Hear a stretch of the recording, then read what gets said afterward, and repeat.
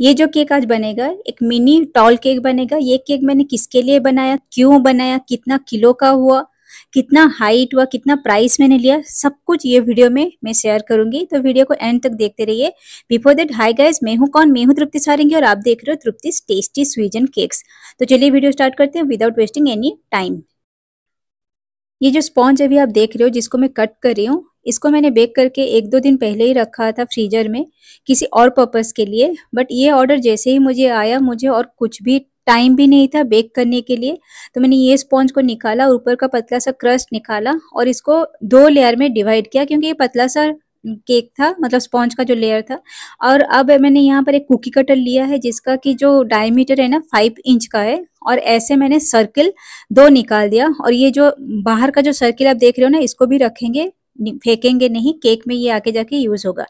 तो अभी मैं थोड़ा बता देती हूँ ये किसका ऑर्डर था। मेरा जो हाउस शेल्फ है ना उसका ऑर्डर था और वो आके मुझे बोली कि दीदी मुझे एक केक चाहिए अभी एक घंटे में मैं आपका काम करके जाऊँगी फिर आके वापस लेके जाऊँगी तो आप मुझे बना के दोगे क्या?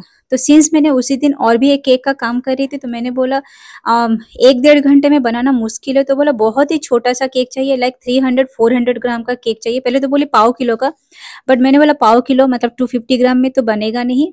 तो 300 400 ग्राम तक होगा, चलेगा क्या? तो उसने बोला हाँ बट थोड़ा सा अच्छा दिखना चाहिए, क्योंकि मैं जिसके लिए लेके जा रही हूँ, उसका ट्वेंटी फिफ्थ बर्थडे है। तो कोइंसिडेंटली उस दिन जो केक में और एक बेक मतलब आइसिंग कर रही थी ना, वो भी एक ट्वेंटी फिफ्थ बर्थडे का केक था। उसका भी मैं बहुत जल्दी आप लोगों के साथ शेयर करूँगी और दोनों ही केक बहुत ही सुंदर दिख रहे थे। तो मैंने क्या किया, ये स्पॉन्ज को फ्रिज से निकाला सॉरी फ्रिज नहीं फ्रीजर से निकाला और जैसे आप देख रहे हो ना वैसे कट किया और इसका लेयरिंग करना ऐसे शुरू किया। तो पहले जो बेस में ना अच्छा वाला स्पॉन्ज का लेयर रखा, पूरा जो इंटेक्ट सर्किल वाला, और बीच में जो रिंग निकला था ना केक स्पॉन्ज से, उसको अरेंज कर रही हूँ। और देन जैसे सोकिंग करते हैं, वैसे ही करना चाहिए। और फ्लेवर मैंने पूछा था तो बोला, आपको जो मन है, आप बना दो। तो मैंने ना, जो ऑरेंज फ्लेवर का ये केक बनाया chocolate orange with choco chips ठीक है? तो स्पॉन्ज को मैंने सोक किया ऑरेंज क्रस को पानी में डाइल्यूट करके, और देन इसके ऊपर ऑरेंज क्रस लगाया चोको चिप्स दिया, और सेकेंड लेयर को भी ऐसे ही प्लेस किया।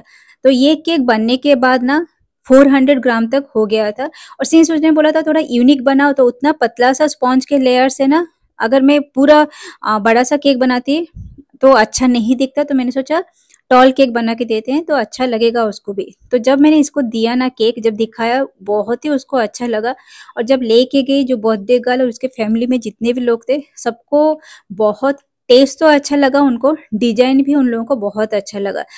अराउंड इलेवन थर्टी उसने मुझे केक के लिए बोला और एक बजे तक उसको ये केक लेके जाना था। तो मैंने बोला, एक बजे तक अगर नहीं बन पाएगा तो वेट करना थोड़ा टाइम तो थोड़ा सेट नहीं होगा तो हाइट में रहता है केक ना तो स्लीप होने का चांस रहता है और थोड़ा दूर रहती है तो अच्छे से इसको सिक्योर करके भी देना होगा। अदरवाइज़ क्या होगा, गिर जाएगा, ठीक है? और एसी तो नहीं रहेगा ऑब्वियसली ऑटो वगैरह में लेके जाएँगे तो हिलेगा तो गिरने का चांस रहता है। तो छोटा केक हो, बड़ा केक हो, अगर टॉल केक है ना, उसको अच्छे से सिक्योर करके देना है।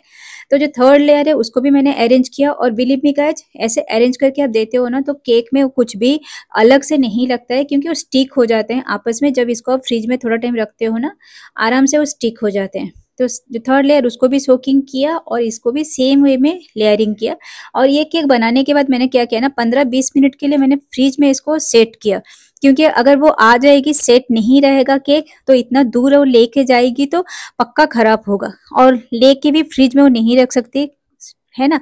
पता नहीं होगा फ्रिज नहीं होगा तो मुझे ही घर से इसको अच्छे से सेट करके देना था, उतने ही कम टाइम में। तो जैसे ही मैंने इसका, ऐसा लेयरिंग करके अच्छे से क्रम कोटिंग किया ना, पंद्रह बीस मिनट के लिए मैंने इसको फ्रिज में रख दिया था तो सेट हो गया था अच्छे से वो, ठीक है? और जो सोख कर हूँ पानी ना, उसको भी मैंने थोड़ा टाइम फ्रिज में रख दिया था तो ठंडा हो गया था अच्छे से। अब लास्ट लेयर प्लेस किया, ठीक है? और इसका अभी क्रम कोटिंग कर दिया। क्रम कोटिंग, आप देखो कितना हिल रहा है बोर्ड क्योंकि छोटा केक होता है ना गैस बहुत डिफ़िकल्ट होता है। बड़ा केक अगर बनाओ ना, फटाफट बना सकते हो। अभी स्पॉन्ज के ऊपर भी मैं थोड़ा सा ऑरेंज क्रश दे रही हूँ, ताकि टेस्ट ना अच्छा आए, ठीक है? केक अगर सेट होता है तो उसका टेस्ट आपस में मिक्स होके बहुत अच्छा आता है। सिंस ये केक को सेट होने के लिए कम टाइम था, इसके लिए मैंने स्पॉन्ज में भी थोड़ा सा ऑरेंज क्रश दिया बिफोर सोकिंग इट ओके और देन इसमें मैं क्या करूँगी? क्रम कोटिंग के बाद एक छोटा सा पतला सा डावल भी लगा दूँगी, ताकि जब वो लेके जाए ना ऑटो में भी जाए तो वो स्लिप ना हो, कितना भी टाइम वो रखे तो ओके और क्रम कोटिंग किया डावल लगाया, और देन मैंने इसको 15 टू 20 मिनट्स के लिए फ्रिज में छोड़ दिया, जब तक कि मैं जो अपना जो दूसरा केक था ना, उसके ऊपर काम कर रही थी। और कॉन्सिडेंटली वो भी ट्वेंटी बर्थडे केक था, ठीक है? तो दोनों केक का जो कलर कॉम्बिनेशन ना सेम ही रखा था मैंने, ताकि मुझे काम कम आए ठीक है? क्योंकि अलग अलग होता है तो डिफ़िकल्ट होता है, दो बार तीन तीन बार आपको कलर बनाना पड़ता है बट ये दोनों केक का मैंने कलर जो कॉम्बिनेशन था सेम ही रखा था और इसका डिज़ाइन भी मैंने बहुत सिंपल रखा था बट बहुत ब्यूटीफुल था। अब जब देखोगे आगे जाके आपको पता चलेगा कितना सुंदर ये केक दिख रहा था और जो आप लाइव देखते थे ना, और भी ज़्यादा ये अच्छा दिखता था। तो अभी देख रहे हो आप, एक मैंने डाबल लगा दिया ओके अब इसको मैंने रख दिया था फ्रिज में सेट होने के लिए।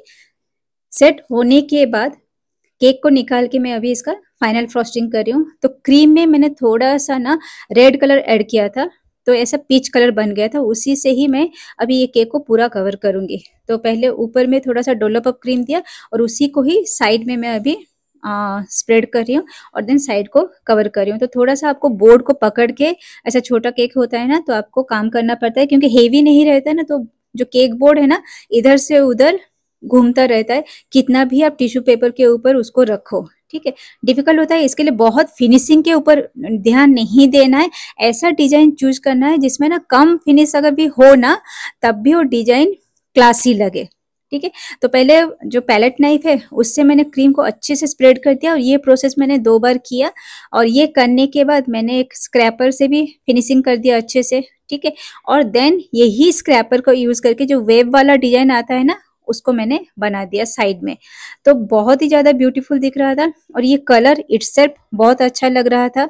तो अभी अब देखो, इसका हाइट में मैं अभी आगे आपको दिखाऊँगी। फोर इंच का केक बना था और नीचे का जो बेस है ना, वो फाइव इंच का था। तो साइड में वेब वाला डिज़ाइन देने के बाद अब ऊपर की तरफ़ एक शोल में बना रही हूँ सेम पेलेट नाइफ के हेल्प से।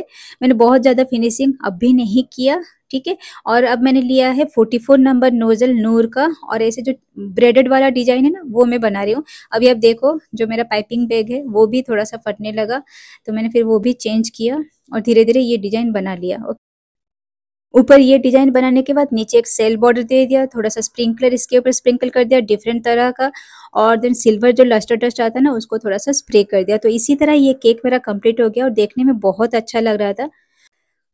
और ये केक का हाइट बना था फोर इंच वेट बना था फोर हंड्रेड ग्राम और इसका प्राइस मैंने टू हंड्रेड रुपीज़ लिया था।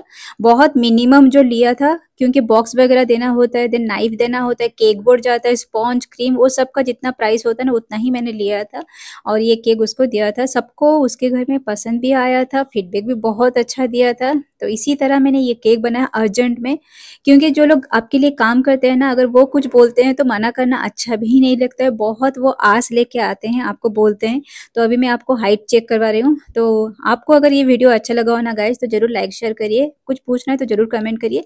सो Till we meet next time, bye, take care, spread happiness around the world.